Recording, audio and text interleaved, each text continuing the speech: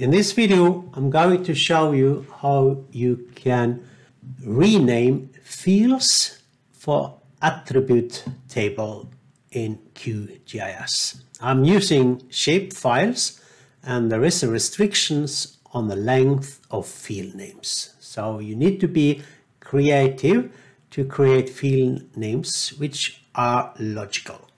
So the way you can rename field, there is a processing tool for this. Find it in the processing toolbox. You enter the layer where you have the attribute table and you select then the field you want to rename. This is area measures for the proposed protected areas. So I can call it the new field name for PP area.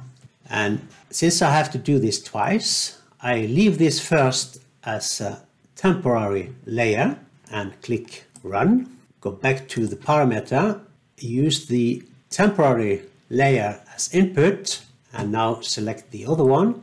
And just one single P there because this is for the protected area. And here for this time I select to save it to a file. So these are the municipality layer.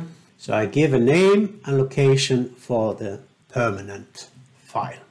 Click run. Now the temporary layer will be gone next time you open QGIS but this will be there and here we have one field now for the absolute value for the proposed protected areas and one field for the area for the protected areas.